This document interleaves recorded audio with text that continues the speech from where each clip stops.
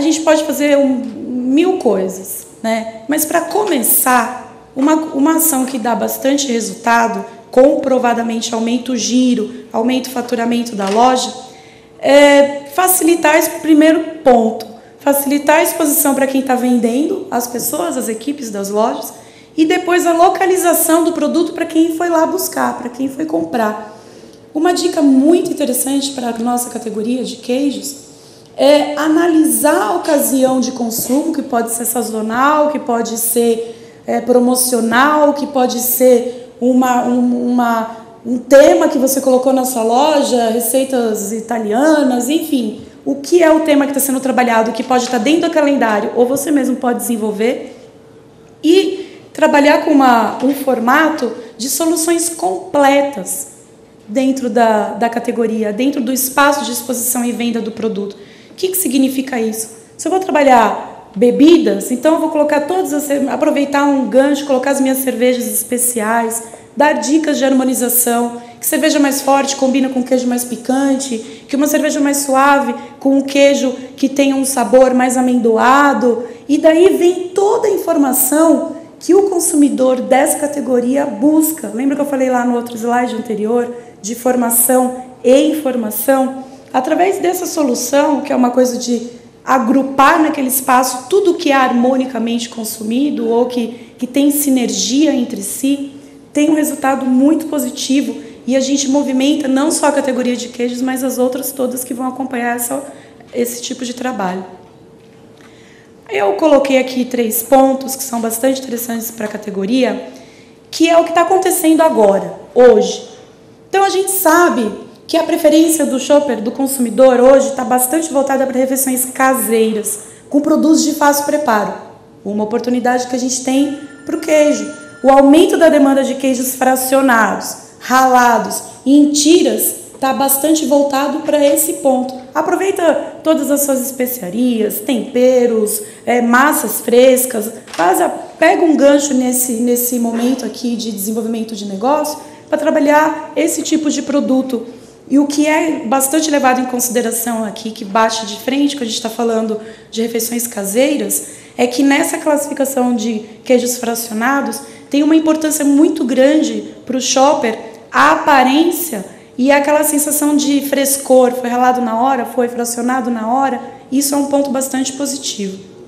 A falta de tempo e a redução de visitas e permanência no ponto de venda já não é mais novidade para ninguém. Na, na, categoria ou na seção de lácteos, que é onde estamos inseridos, o consumidor hoje fica em média 44 segundos só na sessão. Então, se a gente não tiver ali gôndolas impecáveis, atrativas, bem comunicadas, preço visível, é, aplicação correta de identificação do queijo, que é muito importante, e, o, e os produtos adequados ao perfil de consumo da loja, a gente vai perder uma boa oportunidade. O consumidor ele está cada vez mais adepto a novos sabores e texturas. O queijo, o consumo do queijo é 100% uma experiência sensorial. Ele é, a gente fala lá na tirolês que é um produto emocional. Ele é muito, muito forte voltado para a parte emocional. A gente até brinca que é o resultado de um do, do, amor, é um produto resultado do amor, porque a vaquinha deu leite para alimentar o bezerro, o seu filhinho. Então, tudo isso daí parece uma brincadeira, mas se você for levar a ponta, transformar isso em negócio, dá certo. E como é essa, essa coisa da, da, da experiência sensorial, nós ganhamos muito com isso, porque ele está associado diretamente a essa parte. E o aumento dos espaços na gôndola, o merchandising bem trabalhado, as estruturas de exposição entram dentro desse conceito e a gente tem um bom resultado de trabalho e consegue, de novo falando, com coisa muito simples, movimentar a categoria de uma maneira positiva. A seção de lácteos é uma das mais rentáveis da loja. A gente sabe que tem produto ali que traz eh, margens e resultados bastante interessantes.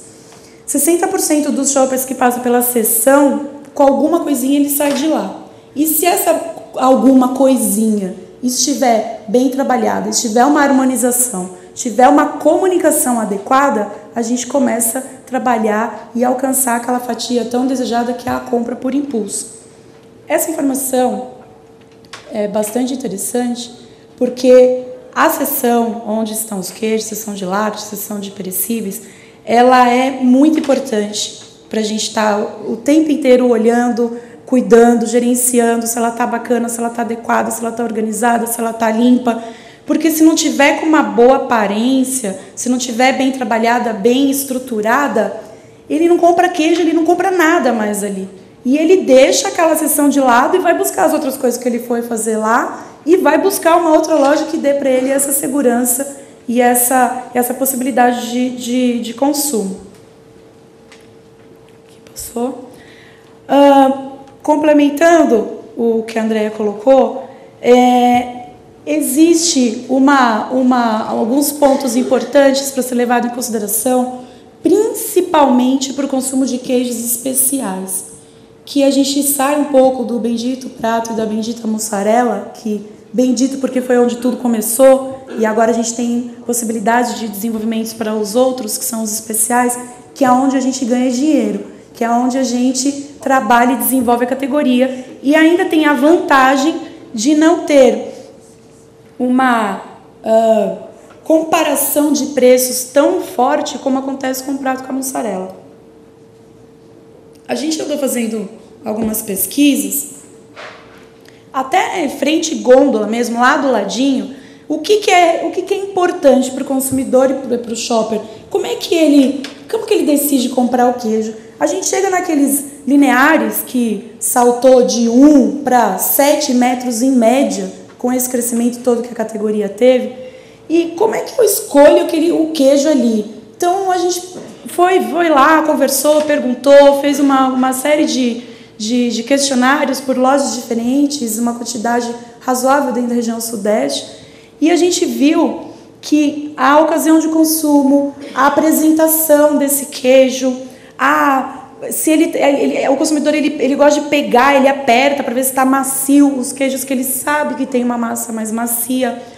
Uh, a, a, o jeito que ele, que ele é fracionado, se está fracionado de uma maneira que ainda fa eles falam, se tem buraquinhos, que é o que a gente chama tecnicamente de olhaduras, porque tem uma sensação que quando tem olhadura é mais saboroso. Isso é percepção do, do shopper e do consumidor.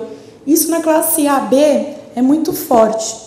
Quando a gente vai para as outras, as outras classificações, necessidades específicas, e aí você fala o que pode ser uma necessidade específica, fora o preço, né, colocando como segundo fator de avaliação, o que surpreende, já que a gente fica sempre achando que o preço, preço, preço é que define tudo, lembrando lá que eu acabei de falar agora que a gente está falando de está tratando de um assunto emocional, a coisa muda de figura. Então a necessidade de uma receita, uh, de, de um evento que vai ter em casa, amigos que eu vou receber. Agora no inverno que tá, uh, é muito comum queijos e vinhos ou tábuas de queijos. Isso é bastante positivo dentro dos trabalhos da, das classes CD.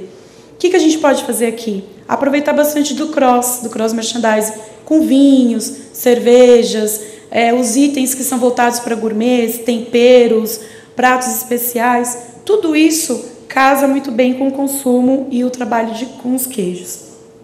Aí, vamos falar uma linguagem agora bem popular, bem simples, para a gente colocar em prática no nosso dia a dia? Que pode mudar os nossos, os nossos patamares de trabalho da categoria. A chave do sucesso daqui para frente, para a gente olhar e cuidar, é associar todas as táticas de comercialização às características do shopper que frequenta a loja. Como é que eu faço para entender a característica? Repara como ele, ele se comporta ou o que, que ele compra mais de outros produtos que você já está acostumado a trabalhar que você já é muito experiente dentro da sua loja. Você vai perceber se ele gosta de variedade, você vai perceber se ele é, naquela loja tem produtos, é, tem muita, muita, muita família, produtos voltados para crianças, os queijos macios vão atender essa, esse público que as crianças se identificam mais. Isso tudo vai fazer a diferença para você. O que funciona numa loja não irá necessariamente funcionar em outra. Não faz copy cola ou da loja bacana para a loja nem tão bacana, ou a loja que está dando excelente resultado. Se funcionou ali a receita, eu vou aplicar naquela minha outra, naquele outro bairro, naquela outra. Não, tem que ter um entendimento do que está acontecendo em cada uma das lojas. Isso aqui é, não é uma receita que necessariamente vai funcionar, mas quase nunca funciona. A gente precisa desenvolver e, e, e, focar bastante nos nossos lucros, organizando os produtos de uma maneira que ele seja bem percebido ou rapidamente percebido dentro do ponto de venda.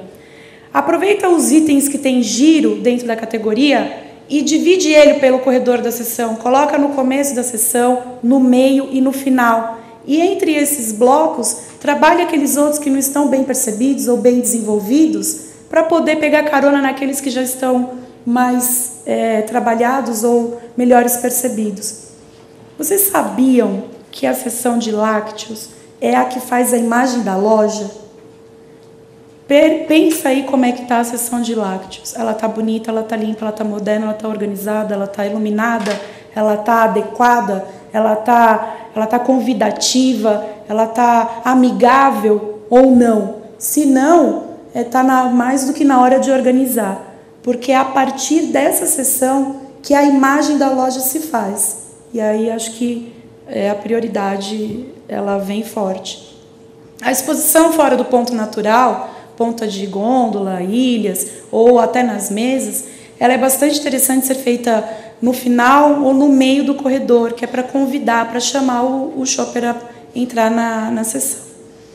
E quais são as premissas para uma gestão diferenciada da categoria? O que, que a gente pode fazer? Não é possível diferenciação antes de entender o canal de venda, com tudo isso que a gente falou: perfil, localização, entendimento do shopper dentro da loja, se é, satisfação, anseios, desejos. Isso até com uma, o, o que eu disse, olhando as outras categorias mais desenvolvidas, a gente já consegue ter boas respostas. Resultados através de produtos, linguagens, ações e serviços adequados ao canal antes de qualquer outra coisa. Se todos esses pontos não estiverem alinhados e equilibrados, os resultados vão sempre passar pelos meios dos nossos dedos. Oferecer produto bonito, gostoso, bacana, moderno, cheiroso, diferente e com qualidade não é mais o, o, o, o todo para conquistar esse shopper. A gente tem que agregar todas essas outras coisas que a gente está falando aqui, principalmente na categoria, nessa categoria de queijos. Esse ponto aqui é bastante interessante, porque o produto será para o consumidor ou para o shopper ou com quem vai à loja comprar aquilo que o varejista permitir e entender que o produto seja. Se o varejista está mal assessorado, o negócio e o produto já foi subaproveitado.